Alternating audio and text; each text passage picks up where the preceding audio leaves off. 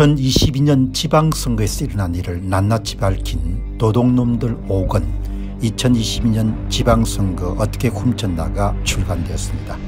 이미 발간된 도둑놈들 1권 선거 어떻게 훔쳤나 2권 2022년 대선 어떻게 훔쳤나 3권 2022년 대선 무슨 짓을 했나 4권 4.15 총선 어떻게 훔쳤나에 이어서 다섯 번째 발간된 책입니다.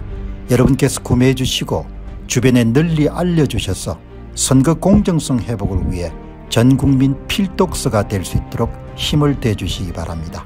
감사합니다. 안녕하십니까 공병호입니다. 지금처럼 이런 대한민국의 선거관리위원회가 국민들의 지탄과 집중적인 포화를 맞는 경우는 뭐 거의 없었습니다. 본인들은 대통령도 만들고 국회의원도 만들고 시도지사 또 다 만들기 때문에 본인들에게 감히 대들 수 있는 그런 정치는 없다 이렇게 생각했을 겁니다. 그런데 이번에 자녀 특별 채용 문제 때문에 지금 박찬진과 송봉습이 물러났고 노태학 선거관리위원회 위원장이 지금 물러나지 않을 수 없는 그런 막다른 골목으로 이렇게 몰아쳐진 그런 상태고 선관위원 9명까지 여러분들이 이제 물러나야 될 그런 상황까지 처했습니다. 이런 상황에서 가장 관심을 가지는 것은 현재 많은 사람들이 관심이 되고 있는 자녀 특례 채용을 넘어서서 과연 대한민국 사회가 이 선관위의 핵심적인 그런 사안인 바로 선거 범죄 문제를 정면으로 다룰 수 있을 것인가 이게 굉장히 궁금합니다. 예. 이것은 엄청나게 높은 벽입니다.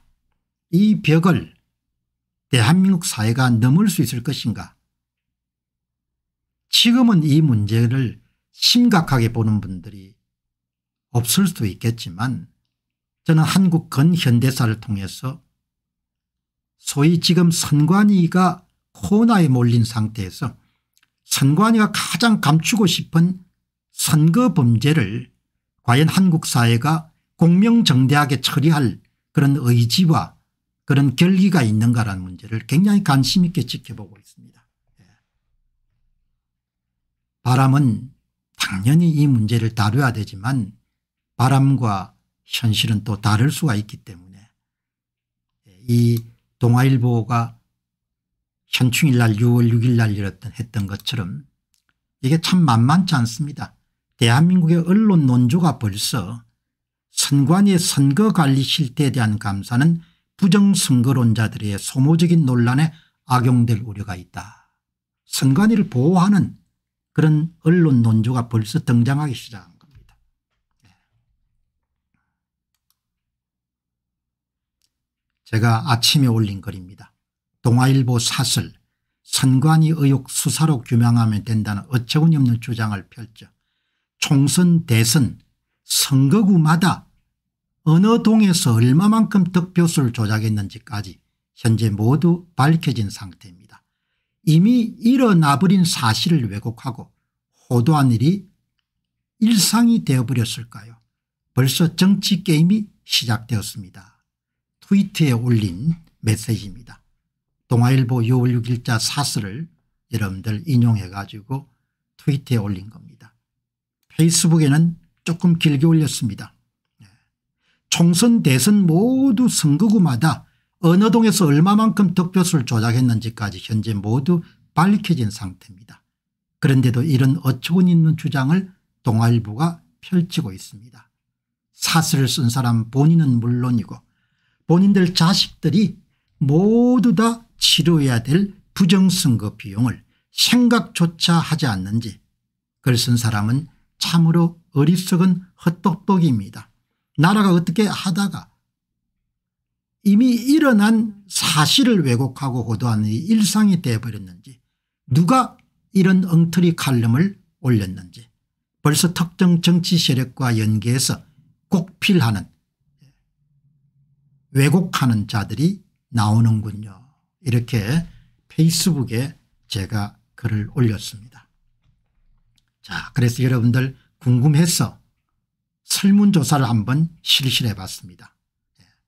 선관위 채용 비리 북한 해킹 등을 넘어서 국민의힘 수뇌부가 과연 선관위의 선거범죄 해결 의지가 있다고 생각하십니까 그렇게 일반 시민들에게 지금 여러분들 선관위를 맹공하고 있는 국민의힘의 수뇌부가 진짜 중요한 선관위 문제 선거 범죄를 해결할 의지가 있는가 없는가에 대해서 일반 시민들이 어떻게 보는가란 부분들을 질문을 던진 겁니다.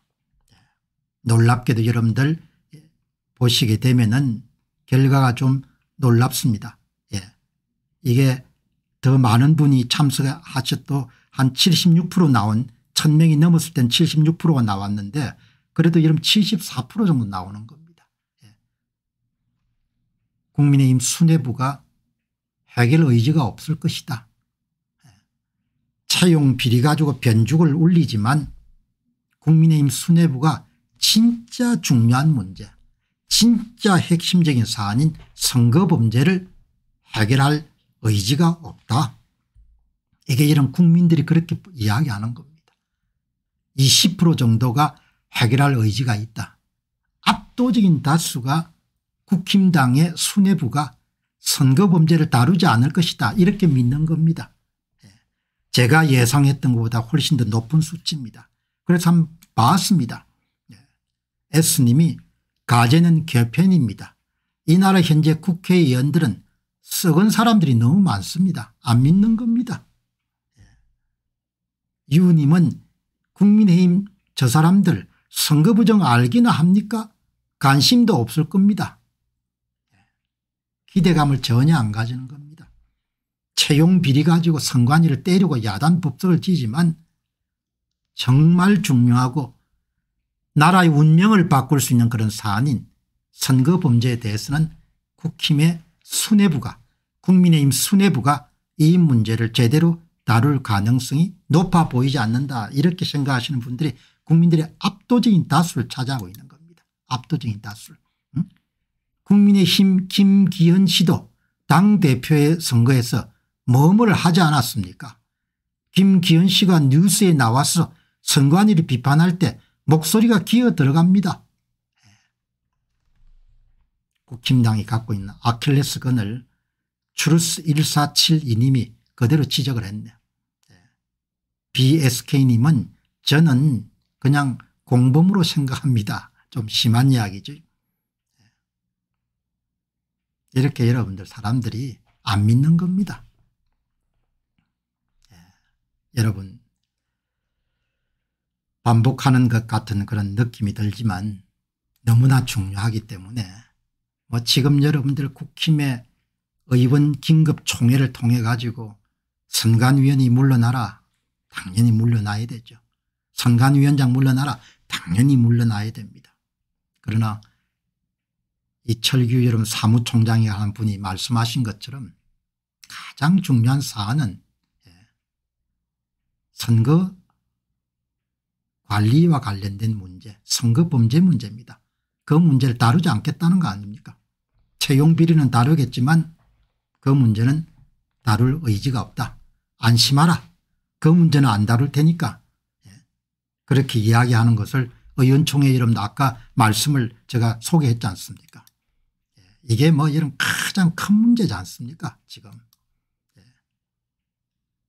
5분 예. 스피치로 이런 스타가 됐던 윤희숙 콜롬비아 대학의 경제학 박사입니다. 콜롬비아 대학은 경제학 박사 과정 중에서도 아주 명문에 속합니다. 서초갑의 2020년도 4.15 총선 결과입니다. 예. 전혀 당선될 수 없지만 윤희숙 의원이 얻은 사전투표 득표수 100장당 30장을 훔친 거죠. 그 30장을 훔친 총 득표수가 7306표입니다. 이것을 지금 돈봉투 사건 때문에 감옥에 가 있는 이정근 더불어민주당 예, 과거의 사무 더불어민주당 사무부총장께 옮겨준 겁니다. 두 개를 더하게 되면 은 15,612표 정도가 득표수가 이동시킨 겁니다. 사전투표 조작을 위해 가지고. 그래서 사전투표 조작이 없으면 윤희숙 후보가 4만 4,533표 차이로 이정근 후보를 눌렀을 건데 사전투표 조작을 해가지고 격차를 크게 줄여버린 거죠. 2만 9,922표 차이로 축소 왜곡 조정해서 발표한 겁니다. 누가 했습니까 선거관리위원회가 이렇게 예, 축소 조정 왜곡을 한 겁니다. 7306표를 어디서 도둑질 했나 다 나오지 않습니까 이게 도둑질하는 여러분들 소스입니다. 7300 여러분들 이게 7300 예, 이게 조금 차이가 나네요. 한번 그 점검을 해봐야겠습니다. 예, 이 원래는 이 차이하고 이게 일치해야 되거든요. 예, 이 표가 여러분들 훔친 데가 다 나. 잠원동에서 훔친 거 반포본동에서 훔친 거 반포 1동에서 훔친 거 반포 2동에서 훔친 거 반포 3동에 훔친 거 반포 4동에 훔친 거 반, 방배 본동에 훔친 거 반배 1동에 훔친 거 반배 상동에 훔친 거 이걸 다 합치면 총 예, 도둑질한 표수가 나오는 거죠. 위에는 거소선상에서 훔친 거 우편 투표에서 훔친 거 이게 다 나오지 않습니까 뭐 지금 여러분들 이런 거가 어디서 얼마를 도둑질했는가 다 나온 거지 않습니까 이게 왜 가능합니까 선거 데이터를 조작했으니까 숫자를 조작했기 때문에 그냥 1 빼기 1은 0 이렇게 딱 나오는 겁니다. 예. 이런 짓을 2017년 문재인이 당선됐던 대통령 선거부터 시작해 가지고 윤석열 대통령이 1년이 채 되지 않았던 데 실시됐던 2023년 4월 5일 보궐선거까지 동일한 방식을 이용해 계속 선거를 조작하는 겁니다. 나라가 미쳤습니다 한마디로. 예.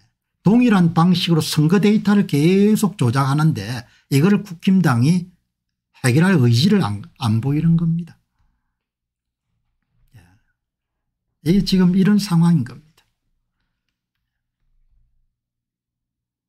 얼마나 이런 도둑질 했는지는 노태악과 박찬진이 진두지휘했던 2022년도 요리를 지방선거 결과는 여기 다 포함되어 있지 않습니까 도둑놈들 5건 그 다음 여러분들 1월부터 4월까지 발간됐던 2, 3권 대선 어떻게 훔쳤나 대선 무슨 짓을 했나 3구 대통령 선거 윤석열 대통령이 당선된 대통령 선거에서 표를 어떻게 도둑질했는가 다 이게 포함되어 있지 않습니까 4권 2020년 4.15 총선에 어떻게 표를 도둑질했는가 나와 1권 총론이지 않습니까 예. 이렇게 여러분들 모든 것이 다 밝혀졌음에도 불구하고 이거를 국민의 힘이 밝힐 의지가 그렇게 높아 보이지 않는다고 대다수 시민들이 그렇게 믿는 겁니다. 74%가. 그럼에도 불구하고 뭐 낙담하지 말고 이 문제를 계속해서 이제 주의 깊게 보고 목소리를 내는 분들이 있어야 되고 그래서 계속 제가 이제 이렇게 이 문제를 계속 이제 이야기를 하는 겁니다. 어떻든 여러분 많은 관심을 가져주시고 이 도둑놈들 시리즈가 좀 많이 확산될 수 있도록 그렇게 힘을 더해 주시기 바랍니다. 감사합니다. 대한민국 공직선거의 문제점을 파헤친 첫 번째 책을 펴냈습니다. 제목은 도둑놈들 1권 선거 어떻게 훔쳤나 2017년 대통령 선거로부터 2022년 대선과 지방선거까지 전산 조작을 이용해서 후보별 득표수를 어떻게 조작했는가를 낱낱이 분석한 책입니다. 선거를 바로 세우고 나라를 바로 세우는 일에 여러분께서 힘을 더해 주시기 바랍니다.